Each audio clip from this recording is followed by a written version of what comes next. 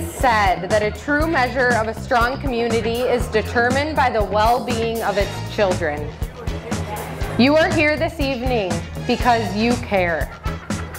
You care about the children of this community. You are here because you have enjoyed success and prosperity in your lives that has allowed you to give to be both grateful and generous. You are here, well, in part because there's an open bar, okay?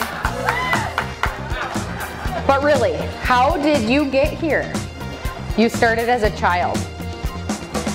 A child that felt safe enough to dream and had a network of adults that supported you. That is what this club does. This is the value of your generosity.